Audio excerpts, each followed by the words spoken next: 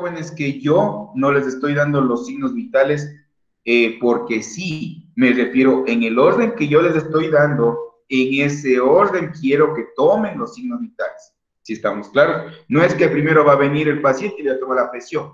Primero, jóvenes, por orden, el termómetro. ¿Y cuál era la justificación, señorita Dana? Ayúdenme. Señorita Dana, ¿cuál era la justificación de por qué cuando viene un paciente lo primero que le colocamos es el termómetro? Porque se demora en, por decirlo, en subir el mercurio, si es que tomamos en un termómetro de mercurio, se demora en darnos el resultado final. Ya, entonces sería, señorita Dana, sería eh, factible decir que yo tomo la temperatura corporal porque es el signo más importante. ¿Sería factible decir eso? O sea, todos son importantes. No Muy bien, la respuesta, jóvenes, es que no es que sea más importante, porque todos los signos son importantes. La respuesta, porque yo coloco primero el termómetro, jóvenes, es porque se demora más tiempo en que me dé el resultado. Si estamos claros. Bueno, jóvenes, y yo no lo estoy inventando, ustedes mismos sacan sus propias conclusiones. Si se dieron cuenta, vimos la temperatura corporal, ¿es o no es importante? Importante. Vimos la frecuencia respiratoria, ¿es o no es importante, jóvenes, saber eso? Importante. ¿Vimos o no vimos la frecuencia cardíaca? ¿Eso no es importante? Importante. Importantísimo, jóvenes. Bueno, a ver, jóvenes. La presión arterial es un, es un signo importantísimo que yo tengo que saber tomar. Si estamos claros. Antes de llegar al signo vital, jóvenes, les voy a compartir una pequeña imagen. Ustedes están viendo, jóvenes, aquí, irán poniendo más atención, jóvenes, están viendo aquí, ya, un corazón humano, ya. Si ustedes ven, jóvenes, el corazón, desde que nosotros, inclusive desde que nos estamos formando en, el, en, el, en nuestra mamita, ya la primera estructura que comienza a funcionar desde, eso, desde esos vestigios jóvenes, que es nuestra formación, es el corazón. Y el corazón es el último órgano también que deja de funcionar cuando nosotros nos morimos. ¿Sí?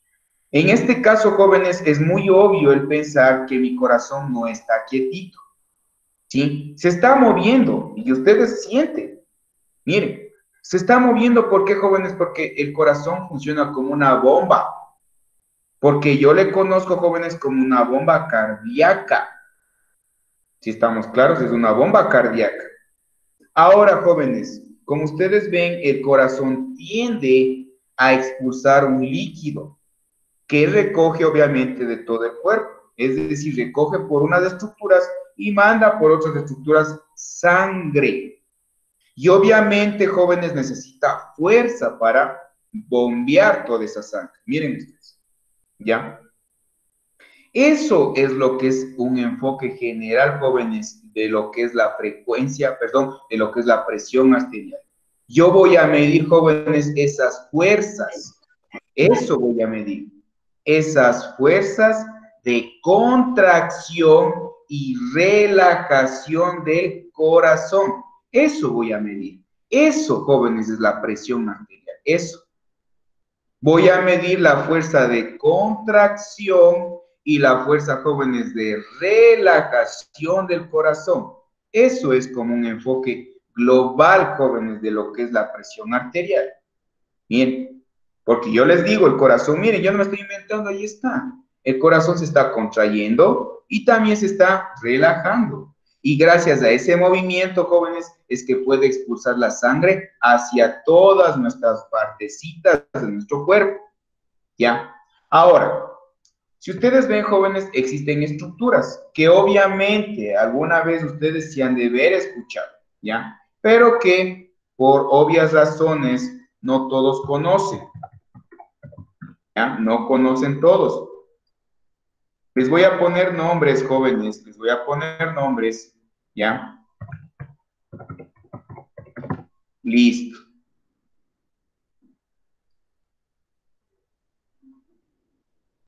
Listo, jóvenes. Miren, ahorita ya le coloqué nombrecitos al, corazoncito, lo que me interesa. Si ustedes ven, jóvenes, existen aquí unas cámaras. Miren, una superior derecha y una superior izquierda. Miren. Estas dos estructuras jóvenes que están viendo aquí se llaman aurículas. Y también existen dos estructuras un poco más grandecitas, una izquierda y una derecha, que se denominan jóvenes ventrículos. Bien, entonces esas estructuras, que es decir, que yo tengo dos aurículas y dos ventrículos, ¿ya? Son las encargadas, jóvenes, de la contracción y relajación cardíaca. Miren ustedes, contracción y relajación cardíaca. Miren ustedes. Ahora, jóvenes, yo estoy diciendo que mi corazón tiende a contraerse y tiende a relajarse. Muy bien, jóvenes, miren, hasta ahí estamos entendiendo que nuestro corazoncito se contrae y se relaja y que para que funcione esa contracción y relajación, mi corazón tiene estructuras que son las aurículas y los ventrículos. Muy bien, jóvenes. Ya entendiendo desde ese punto de vista, jóvenes, yo voy a hacerle un poco más pequeñito a este corazoncito. Le voy a hacer un poco más pequeñito. Si estamos claros, le voy a hacer un poquito más pequeño. Muy bien. Pero le voy a colocar en esta partecita, jóvenes, para seguir con la explicación. Ahora, ¿qué es lo que dije, jóvenes, yo? ¿Qué es lo que dije? Que el corazón, y aquí voy a colocar, el corazón, jóvenes, se tiende a contraer, ¿ya? Y también se tiende, jóvenes, a relajar, ¿ya? Iránme poniendo atención, jóvenes, para que no se pierdan. Se contrae y se relaja, ¿ya? Se contrae, cambiémosle mejor, se contrae quitémosle la R y se relaja. Muy bien. Eso es lo que hace mi corazoncito constantemente, jóvenes. Se tiende a contraer y se tiende, jóvenes, a relajar mi corazón. Bien, eso es lo que se engloba la presión arterial. Miren, que se contrae y se relaja mi corazón. Eso sucede, jóvenes, todos los días, todos los años, hasta que yo muera, desde que fui formándome, ¿ya? Donde mi mamita, en el útero, ¿sí? Hasta que me lograron entesar. Desde ahí, jóvenes, mi corazón todo el tiempo está contrayéndose y está relajándose. Ahora, jóvenes, eso es la presión. Quiero medir con cuánta fuerza se contrae el corazón y con cuánta fuerza se relaja muy bien, jóvenes, eso es un enfoque general de este tipo de estructuras. Ahora, jóvenes, voy a poner un poquito más para acá, ¿ya? Voy a poner unos nombrecitos, jóvenes, a estas que yo digo que es contracción, le voy a poner un nombrecito que es la sístole, ¿ya? Y a la relajación, jóvenes, le voy a poner y le voy a colocar que esta se va a llamar diástole, ¿ya? ¿Bien? Ya puse unas palabritas un poco, un poco nuevas para ustedes. Ahora, jóvenes, sigo con la explicación. El corazón se contrae y el corazón se relaja. Muy bien. Pero para la palabrita de contraerse o que se contrae, le voy a asociar, jóvenes, la palabra sístole. Bien, sístole. Y para la palabrita que el, que el corazón se relaja, le voy a asociar la palabrita jóvenes, diástole. Bien, repito, para la palabrita cuando el corazón se contrae, le voy a colocar la palabra sístole. Y cuando el corazón se relaja, le voy a colocar la palabra diástole. Muy bien, jóvenes. Ahora, yo les pregunto, señorita, entonces ahorita me podría decir qué es la sístole. La sístole, profe, es el nivel de contracción del corazón. Gracias. ¿Me podría decir, señorita, qué es la diástole? La diástole es el nivel de relajación del corazón. Fácil, jóvenes. Repito, si yo les pregunto, jóvenes, ¿qué viene siendo la sístole? La sístole, profe, es el nivel de contracción, pues la fuerza de contracción del corazón. Profe, entonces, ¿qué es la diástole? La diástole, señorita, es el nivel de relajación o la fuerza de relajación del corazón. Muy bien. Bien, señorita, muy bien. Ya me entiende que el corazón tiende a contraerse y tiende a relajarse. Y gracias a eso, ¿qué es lo que voy a medir, jóvenes? Fuerzas. Que si yo voy a medir la contracción, eso va a llamarse sístole. Que si yo voy a medir el nivel de relajación, eso, pues, jóvenes, se va a llamar diástole. Muy bien, señorita, muy bien. Normalmente, normalmente, jóvenes, existen fuerzas, que yo ya hablé, que existen fuerzas aquí. Obviamente que yo estoy buscando jóvenes números, obviamente. ¿Ya? Ahora, vamos a ver primero, jóvenes, me voy a colocar a nivel de esta partecita de la sístole, que es el nivel de contracción, y voy a anotar unas palabritas aquí, para que se, se acuerden. ¿Ya? Ahora, si aumenta, yo asocio eso, jóvenes, a la hipertensión arterial. Bien, hipertensión arterial. Muy bien. Ahora, que si disminuye, se aumenta, si disminuye, esto le asocio, jóvenes, a la hipotensión arterial. Muy bien. Ahora, ya después les explico, jóvenes. Vamos acá. Si disminuye y aumenta, las dos citas jóvenes, esta y esta, me van a dar como resultado, ¿sí? Ya les explico, jóvenes, ya les explico para que no se confundan.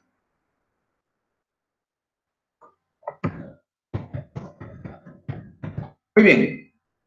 A ver, jóvenes, aquí vamos poniéndole atención a esta partecita de aquí. Vamos subiendo un poquito para que quede acorde ahí, ¿ya?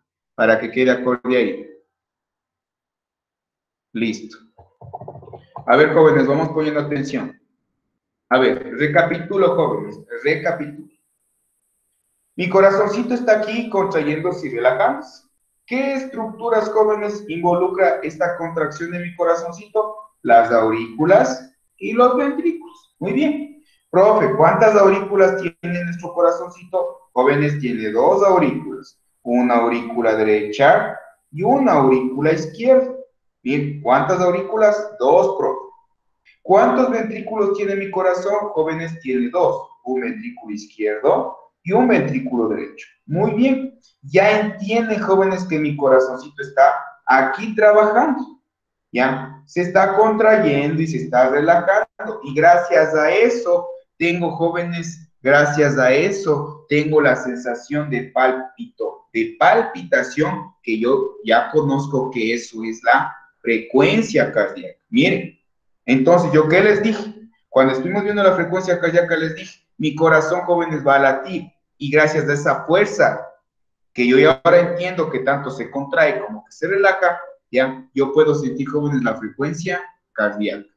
Ahora, jóvenes, ahora, muy bien aquí, se contrae y se relaja. Exacto, se contrae y se relaja.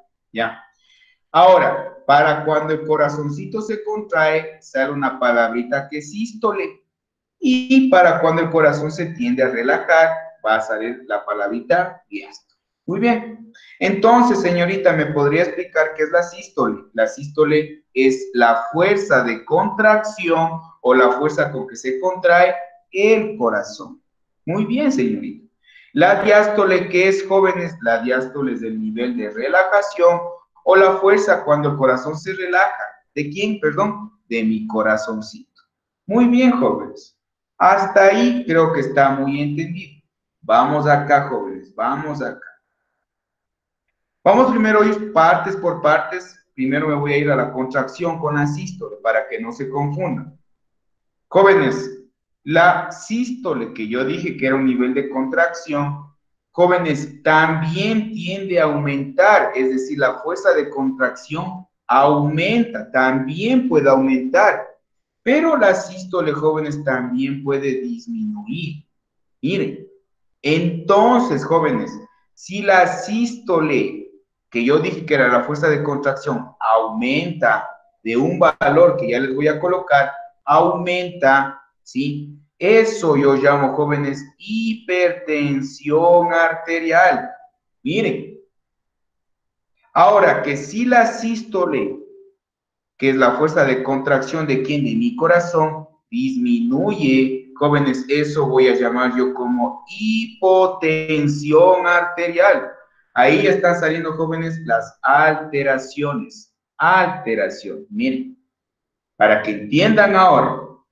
Y por último, jóvenes, la diástole, que yo dije que era el nivel de relajación. Esto también, jóvenes, se puede aumentar, pero también puede disminuir. Y en este caso, jóvenes, si aumenta o disminuye la diástole, a esto, jóvenes, yo conozco como daño cardíaco. Miren, daño cardíaco, miren, ya puse numeritos ahí. Entonces, esos valores, jóvenes, esos valores son los que hacen referencia a una contracción normal y a una relajación normal de mi corazón. Miren ustedes. Pero es que es obvio, jóvenes, es obvio que esto también puede aumentar, pero también puede disminuir. Es decir, jóvenes, que si yo a nivel de la sístole, que yo dije que era a nivel de contracción, está entre 100 a 120, esto se considera, jóvenes, como normalidad, una presión arterial normal. Ya después les hago entender por qué, para que no se confundan. Mientras que, ¿cuál es el valor normal de la diástole? Está de 70 a 80 como un valor normal. Entonces, coloquémosles unos numeritos acá abajo. ¿Ya? Antes de eso les voy a hacer una, les voy a hacer analizar, jóvenes. Aquí voy a poner un valor 120 sobre 80. Bien, sobre 80 milímetros de mercurio. ¿Ya? Eso, jóvenes, es un valor normal de la presión. Bien, es un valor normal de la presión. Bien, eso es un valor normal de la presión. Ahora, jóvenes, yo les pregunto a ustedes, ¿de dónde creen ustedes que saqué ese valor 120 sobre 80 milímetros de mercurio, jóvenes? De los valores normales. Que si yo quiero que ustedes me analicen es fácil pensar, jóvenes. 120 está por aquí. 120 es el valor mayor. Miren, entonces, ¿qué ha sido el primer numerito que ustedes me coloquen aquí, jóvenes? La sístole que va a medir el nivel de contracción. ¿Está normal el 120? Es decir, ¿está entre el valor del 100 al 129? Sí, entonces, profe, la sístole de ese paciente está normal. Mientras que yo le pongo jóvenes sobre, sobre 80, entendiendo jóvenes que el 80 que viene siendo el, la diástole, que es el nivel de relajación del corazón. Y si usted me dice, profe, que el valor normal va de 70 a 80, entonces mi paciente está normal. ¿Y cómo mido, jóvenes, estos valores con milímetros de mercurio? Miren, ahorita ustedes ya entienden, jóvenes, ya entienden lo que es un valor estándar medio y los valores normales de dónde a dónde va, tanto para la sístole y de dónde a dónde va, tanto para la diástole. Si estamos claros? Miren, muy fácil, jóvenes, muy fácil. ¿Qué es lo que me decía la presión arterial? Se define como la fuerza que ejerce la sangre contra las paredes de las arterias. Miren, es la fuerza que ejerce la sangre contra las paredes de las arterias. Pero esa fuerza, jóvenes, ¿quién me está dirigiendo? ¿De dónde está viniendo esa fuerza, jóvenes? Del corazón.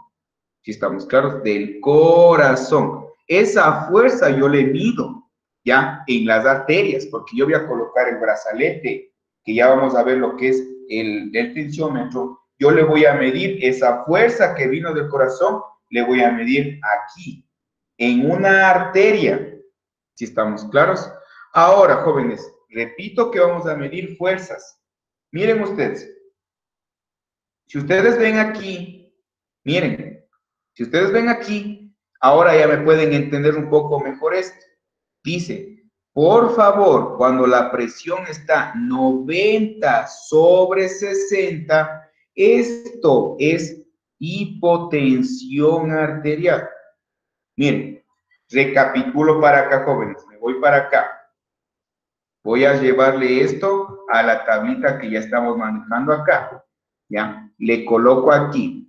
Y esto le corto. ¿Ya? Y le coloco este por aquí. Entonces digo, jóvenes, este es el valor medio. ¿Cuál era la hipotensión, jóvenes? ¿Está o no está bien colocado aquí? ¿Qué opinan ustedes? ¿Ahí está bajo o, o le subo? ¿Qué opinan ustedes, jóvenes? ¿Será que está coherente colocar el valorcito acá abajo para catalogar hipotensión, jóvenes? Que yo digo que hipotensión es bajo, ¿o qué opinan ustedes? ¿Estaría coherente, ¿Estará coherente colocar el valorcito ahí, jóvenes, o no? No. No. ¿Por qué, señorita? De pronto me entienden con otro valor. Miren, ¿y cuál es el valor de la hipertensión ahora?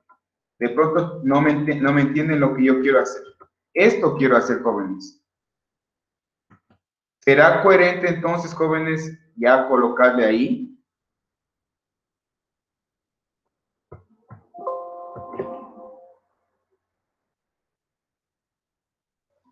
¿O no, jóvenes? ¿Qué opinan ustedes? Ahí está bien, profe. Sí está bien, tanto la, la hipertensión y la hipotensión es igual. Está, está bien, dicen, porque... Exacto, exacto. Eso es lo que yo quiero que sepan, jóvenes. Eso. Eso, jóvenes. ¿Por qué? Porque miren lo que me dice el compañero y está bien. Me dice, profe, si yo ya sé que esto es una hipertensión, Lógico, jóvenes, yo les dije, miren, yo por eso no me, no me, como les digo, no, no les digo las cositas por decirles. Si esto, jóvenes, tiende a aumentar, ¿qué les dije, jóvenes? Que se denomina hipertensión. Pero si ahora, jóvenes, esto se, se comienza a disminuir del valor un estándar, esto comienza a disminuir, jóvenes, ¿qué les dije que era esto? ¿Qué les dije que era esto, jóvenes? era hipo. ¿Qué les dije, jóvenes, que era esto? Hipotensión. Hipotensión. Exacto, miren, jóvenes, yo no, yo no pierdo el tiempo haciéndoles grafiquitos para que analicen. Miren ustedes, es obvio, jóvenes, es obvio. Si el profe me está diciendo que yo tengo que un valor estándar en la sístole, ¿este es o no es una sístole? Sístole. ¿Esto es o no es una sístole? Es sístole. ¿Esto es o no es una sístole? Es sístole, jóvenes. ¿Sí? Es sístole. ¿Y esto es o no es una diástole? ¿Es o no es una diástole? ¿Es o no es una diástole? Miren. Entonces, en pocas palabras, ¿qué me quiere decir estos valores, jóvenes? Que si yo cojo y digo, a ver, si el profe me dijo que lo normal de la sístole está entre 100 y 129, pues aquí, jóvenes, estamos, pues, entra o no entra de aquí, jóvenes, el 100 110, 120 hasta 129. Bien. Mientras que la diástole normal hasta cuánto va, jóvenes, de 70 a 80. ¿Está o no está aquí englobándose? Esto ya vamos a poner unos ejemplos para que analicemos mejor. Pero jóvenes, esto es lo que yo quiero que me, que me, que me analicen en ahorita. ¿Qué es lo que dije? 130 sobre 80 ya me dice, jóvenes, que esto es hipertensión arterial. Vamos a la tablita de aquí. Ah, por aquí sale hipertensión arterial. No dije, jóvenes, que la hipertensión arterial es el aumento de la sístole, que es el nivel de contracción, que se sale de los valores normales. ¿No dije? Y entonces, jóvenes, aquí está 130. ¿Estará aquí un 130, jóvenes, para decir que está normal? No, porque la 130 jóvenes está aquí aumentado. Entonces ustedes ven un valor en sístole que está aumentado, jóvenes, es decir, de 130 para arriba, eso, jóvenes, ya se considera hipertensión arterial.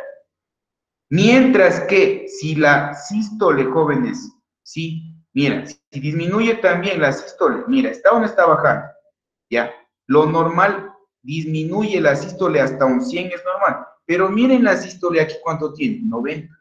Entonces, esto ya es hipotensión. ¿Por qué? Porque está donde está disminuyendo la sístole y lo normal es que llega hasta 100. Y miren cuánto tiene aquí la hipotensión, 90. Miren ustedes, miren ustedes jóvenes, el mismo ejemplo va a la diástole. Simplemente que aquí tengo que aprender a diferenciar un valor de otro valor con el slash, slash, slash. Bien, el mismo ejemplo. Prof, usted me dijo que eh, la, la diástole es el nivel de relajación del corazón. Y esa diástole para que esté normal está en un valor de 70 a 80. Bien, señorita, de 70 a 80. Miren ustedes. La diástole, jóvenes, va a disminuir, va a aumentar, perdón. Si es que aumenta un poquito, aunque esto es un estándar, esto, jóvenes, ya puedo catalogar como aumento. Miren, eso que se llama, jóvenes, un cierto nivel de daño cardíaco. Pero, profe, también la diástole podrá que disminuya sí disminuye, normalmente puede disminuir hasta 70. Pero miren cuánto tiene esto, tiene 60. Entonces, jóvenes, cuando disminuye la diástole, se denomina también daño cardíaco. Miren ustedes, que si yo analizo de manera rápida, 120-80 está en un valor normal, 130 sobre 80 existe un aumento de la sístole y existe también un aumento de la diástole y existe hipertensión y existe daño cardíaco. En cambio acá, la hipotensión es lo mismo. La sístole está disminuyendo, por eso se llama hipotensión, y la diástole está disminuyendo, por eso hago un tipo de daño cardíaco. ¿Ya? Listo, jóvenes. Miren, ahí están unos topecitos. ¿Cuál es el valor estándar, jóvenes? ¿Cuál es el valor estándar? ¿Cuál es el valor estándar, jóvenes? Es esto. El 120 sobre 80 jóvenes es un valor estándar normal. Que si les preguntan, jóvenes, ¿qué es el 120 sobre 80? Es un valor estándar normal. Que si llega a 130, 80 jóvenes, este es el valor en hipertensión. Y si llega a 90 sobre 60, este es un valor de hipotensión.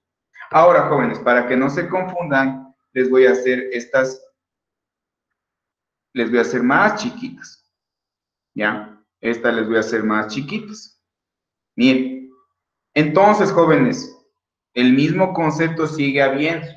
Quiere decir, jóvenes, que si de 130 para arriba, esto ya es hipertensión y de 90 sobre 60 para abajo, con este incluido, es hipotensión. Hipertensión, hipotensión. Cualquier valor, jóvenes, que antes de llegar a este valor se considera normal y cualquier valor que antes de llegar a este tope, jóvenes, se considera valores normales. Que si está más incluido este valor hacia arriba, jóvenes, se llama hipertensión y cuando estos valores incluidos están más abajo, se denomina hipotensión. Ahí ya me están entendiendo un poquito mejor el enfoque que quiero darles, jóvenes. Sin dejar a un lado el 130 sobre 80, sin dejar a un lado el 120 sobre 80 y sin dejar a un lado el 90 sobre 60, entendiendo que esta es la sístole y esta es la diástole. Esta es la sístole, esta es la diástole. Esta es la sístole y esta es la diástole. Miren, jóvenes, ahora yo les voy a preguntar, jóvenes, quiero que me den números, ya, a ver, señorita Dana, quiero que me des un número de una presión normal que esté enfocada en este rango. Inclusive, jóvenes, inclusive para que no se hagan lío, yo le puedo inclusive quitar este valor, el valor medio. Y cualquier valor que caiga, jóvenes, aquí es normal. Por favor, jóvenes, cualquier valor que caiga aquí es normal. A ver, señorita Dana, ayúdeme con un valor normal de la presión. A ver, puede ser 115 sobre 80. Ya mira, la señorita me dice, profe, le voy a dar un 115 sobre 80. ¿Se entiende, jóvenes? Que esto ya milímetros de mercurio. Muy bien, jóvenes. Más o menos será que le mando por aquí. ¿Estará bien colocado ahí, señorita? ¿Sí? Bien. A ver, señorita Guamán, ayúdenme con otro valorcito. Miren, ahí está, ahí está. Entonces la compañera me dijo, no me dijo un valor normal. Sí, me dijo un valor normal. A ver, señorita Guaman, ayúdeme con otro valor. Sería de 100. Ya, la señorita me dice, profe, le doy un Sobre 70. 100, 70. ¿Estará aquí o no estará aquí, señorita Guama? ¿Qué opina usted? ¿Está o no está ahí? ¿O está mal? ¿Sí? No, 80, ¿sí? Exacto. No sé. Ahí está. Muy bien, muy bien. Mira, a ver, señorita, señorita eh, Medina, creo que es. Señorita Medina, a ver, ayúdeme con otro valor. ¿Existe alguna señorita Medina aquí? Señorita eh, Yadira, a ver, señorita Yadira, a ver, ayúdame. Otro valor que esté entre el valor normal. Señorita Yadira, cuénteme un valor normal. Dígame un valor. Sí, a ver.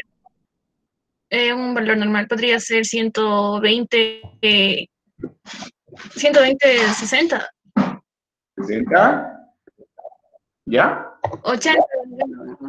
Bueno, ya me estás repitiendo el valor. A ver, jóvenes, miren, aquí, esto ir por aquí. Exacto. A ver, señoritas, díganme otro valor. 110 sobre 75. Ya, 110. Mira, ya sí tienen que ir jugando. Sobre 75.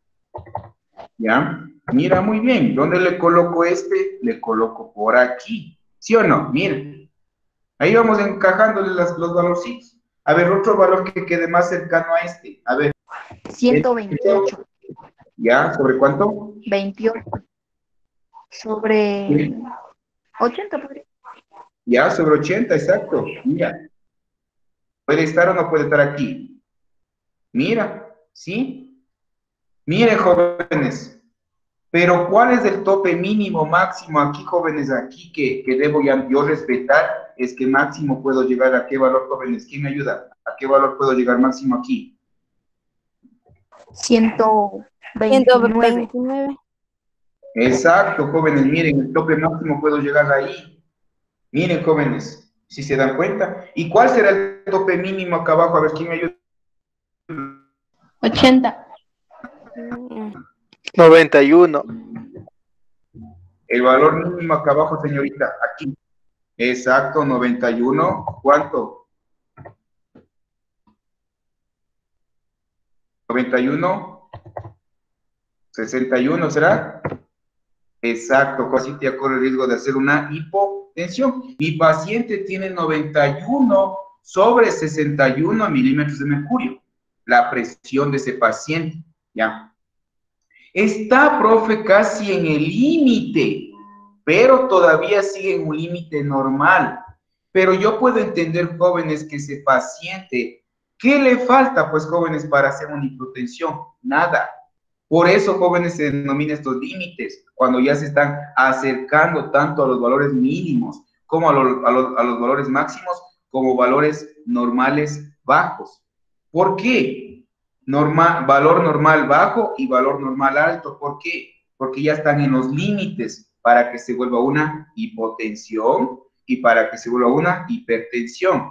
Pero todavía, por poco, por mínimo que parezca, todavía está en un valor normal pero añadiendo, jóvenes, que es un valor normal bajo, que si yo no le controlo, facilito ese paciente me puede hacer una hiper, perdón, una hipotensión. Lo mismo sucede acá. Profe, mi paciente tiene 129 sobre 80. Todavía está en el valor normal, pero ya está en un valor normal alto. Porque ¿qué le falta, jóvenes, para que me haga un 130-80 y ahí sí ya se considera una hipertensión arterial. ¿Cómo está ese 91? Ese 91 es la sístole. El nivel de contracción está disminuido, porque se está disminuyendo, mira, está tendiendo a disminuirse. Facilito, profe, me puede llegar al límite tope de 90 y ahí sí podríamos estar hablando, profe, de una hipotensión arterial. Miren,